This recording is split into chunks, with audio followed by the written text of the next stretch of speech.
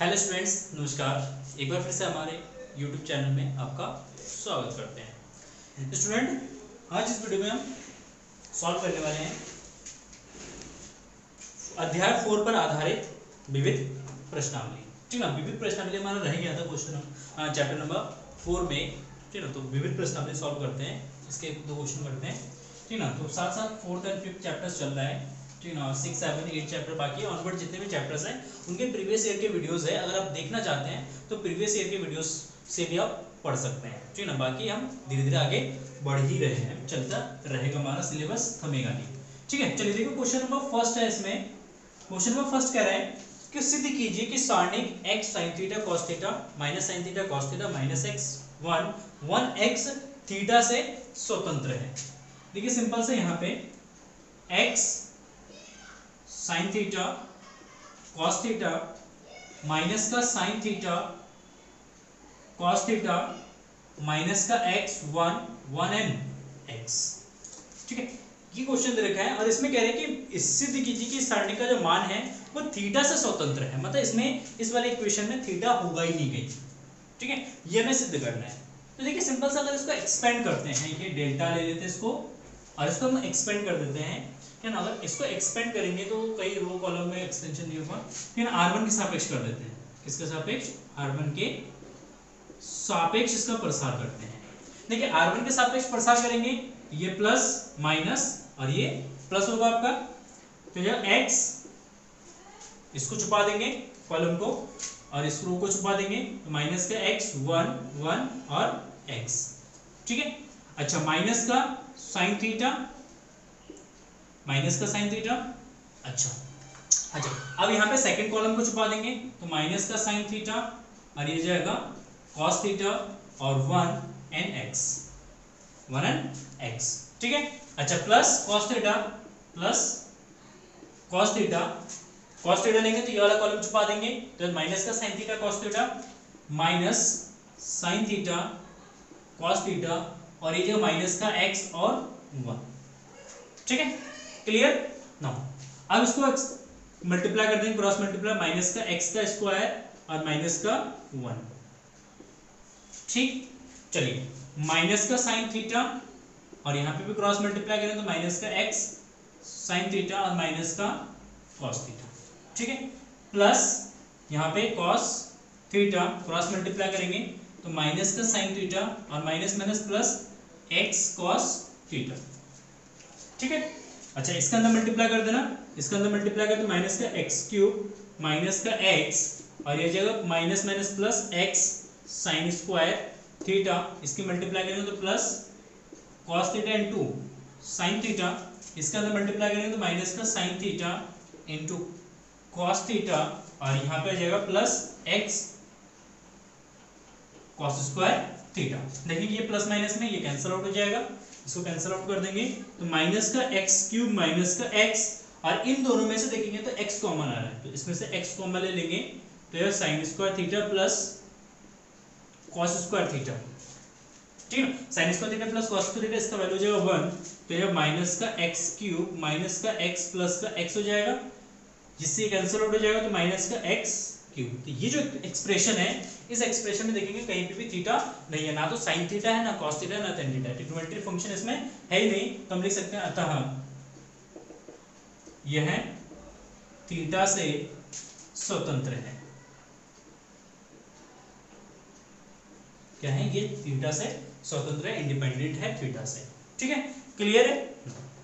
आते हैं next question पे। Let's see next question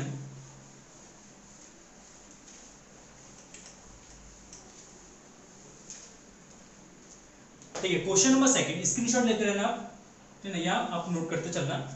question number second अपने बुक में देखिए, दे रखा है, सारणी का प्रसार किए बिना दिखाइए कि A B C A square B square C square B C C A और ए बी का determinant is equal to one one one A square B square C square A cube B cube और C cube कह रहे कि बिना प्रसार किए ये दिखाना है आपको। ठीक है? तो देखिए, इसको दिखाने के लिए सिंपल इसी लॉजिक यूज़ करेंगे इसमें। क्या लॉजिक यूज़ कर सकते हैं, वो देखते हैं। ठीक है? तो सबसे पहले हम क्या करेंगे? एल ले लेते हैं। L H S is equal to A B C A square B square C square B C C A A B ठीक है? तो इसमें हम क्या करेंगे? आर वन में आर वन में ए आर टू में बी तथा आर थ्री में सी से गुणा कर देते हैं। ठीक है इसमें ए इसमें बी इसमें सी से गुणा कर देंगे।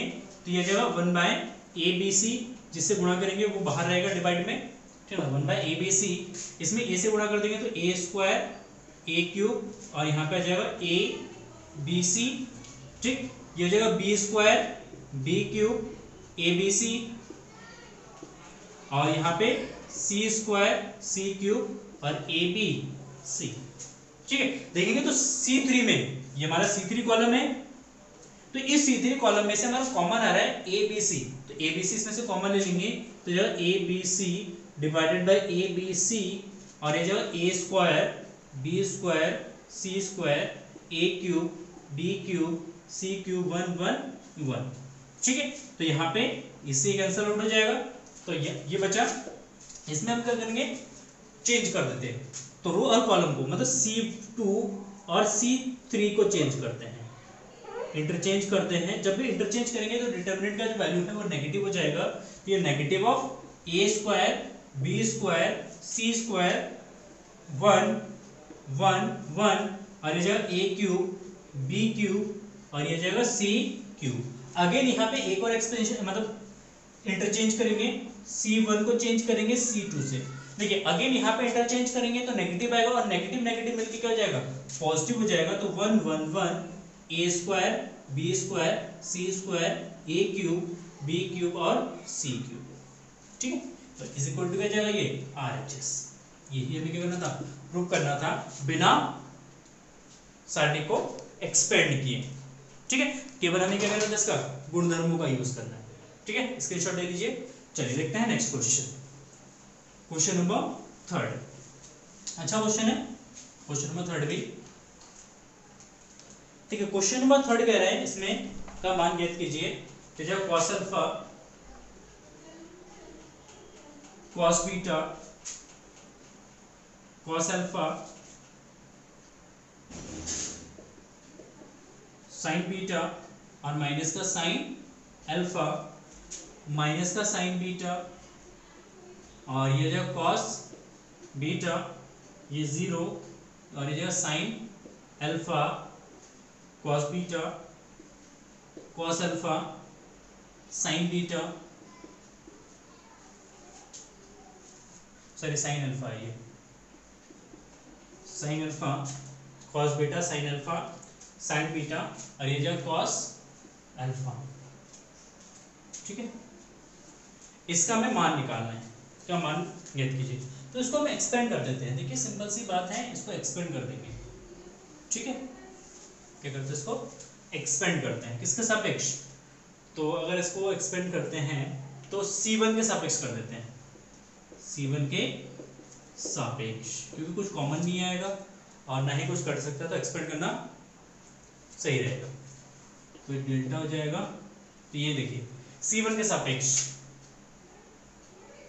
सी के सापेक्ष कर देते हैं। तो कॉस सी थ्री के सापेक्ष कर देते क्योंकि एक ज़ीरो भी है ना इसमें तो ये इजी बढ़ेगा। ये सी थ्री है सी थ्री के सापेक्ष करते हैं एक्सपेंड तो देखिए, ये होता है प्लस माइनस और ये हो जाएगा हमारा प्लस तो ये जाएगा माइनस का साइन अल्फ़ा माइनस का साइन अल्फ़ा इसको, और इसको छुपा देंगे तो माइनस का sine beta sine alpha cos beta cos beta sine alpha sine beta ठीक है? चलिए ज़ीरो के सापेक्ष करेंगे तो ज़ीरो तो माइनस का ज़ीरो ज़ीरो से मल्टीप्लाई करते हो तो ज़ीरो ही रहता है, उसमें कोई चेंज नहीं आएगा। ठीक है? चलिए कॉस अल्फ़ा के सापेक्ष करेंगे तो प्लस का कॉस अल्फ़ा तो ये वाला कॉलम सॉरी ये वाला रो और ये वाला कॉलम छुपेगा। तो जब cos alpha cos beta cos alpha cos beta minus का sine alpha sorry sine beta sine beta और ये जो कॉस अल्फ़ा साइन बीटा और नीचे है cos beta sine alpha cos beta cos alpha sine beta sine beta और cos beta सही है। ठीक है? चलिए, अब यहाँ पे देखते हैं। देखिए, इन दोनों में से ना, इसमें से साइन अल्फ़ा कॉमन है ना साइन अल्फ़ा कॉमन ले लेते हैं तो माइनस का साइन स्क्वायर अल्फ़ा ठीक है क्रॉस मल्टीप्लाई कर देंगे, इसका से मल्टीप्लाई करेंगे तो माइनस का साइन स्क्वायर बीटा इसका से मल्टीप्लाई करेंगे। तो जो कॉस है कॉस बीटा तो माइनस का, ये जो कॉस स्क्वायर बीटा साइन तो कॉमन आ गया था ये। ठीक? प्लस तो इजी रहेगा ना, इसलिए मैंने कॉमन ले लिया।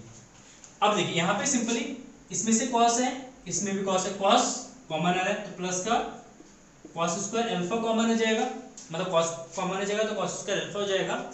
इससे मल्टीप्लाई करेंगे तो यहाँ पे बचेगा कॉस बीटा कॉस बीटा की मल्टीप्लाई करेंगे तो कॉस स्क्वायर बीटा और इसकी से मल्टीप्लाई करेंगे तो माइनस और minus plus sine square beta देखिए इसमें से माइनस कॉमन आएगा तो माइनस माइनस ये जाएगा प्लस साइन स्क्वायर अल्फ़ा और ये जाएगा हमारा sine square beta plus cos square beta और यहाँ पे plus cos square alpha into इसका वैल्यू कितना जाएगा? वन हो जाएगा। ठीक है? चलिए, अब यहाँ पे sine square beta plus cos square beta इसका वैल्यू कितना जाएगा? वन ये वन हो जाएगा। तो जाएगा sine square alpha plus cos square alpha is equal to one तो इसका जो मान है वो कितना जाएगा? वन हो जाएगा। ठीक है? तो आई होप आपको ये समझ में आ गया होगा, ठीक है ना, किस तरीके से इसको सॉल्व करना है। ठीक है? तो चलिए, आज के वीडियो में बस इतना ही। नेक्स्ट वीडियो में हम वन बाकी जितने भी क्वेश्चन है, सारे क्वेश्चन को सॉल्व करेंगे। ठीक है?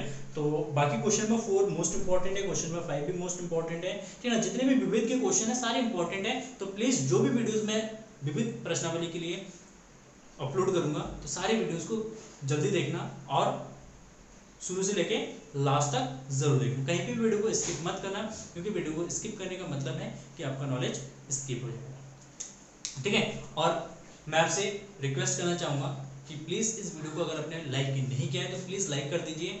अपने दोस्तों के साथ शेयर ज़रूर करिए। चैनल पर नए हैं तो प्लीज़ चैनल को सब्सक्राइब ज़रूर कीजिए, क्योंकि चैनल को अगर सब्सक्राइब करने, करेंगे तो डेफिनेटली मैं गारंटी से कह सकता हूँ कि आपके 95 प्लस मार्क्स मैं मैथ में और फिजिक्स में दिलाऊँगा। ना? इतनी अच्छी प्रिपरेशन कराऊँगा मैं मैथ और फिजिक्स में, ताकि आपके जो मार्क्स हैं, दोनों में 95 प्लस स्कोर कर सके। डेफिनेटली गारंटी के साथ। ठीक है? तो चलिए, फिर मिलते हैं नए वीडियो में, नए लेक्चर्स में। तब तक के लिए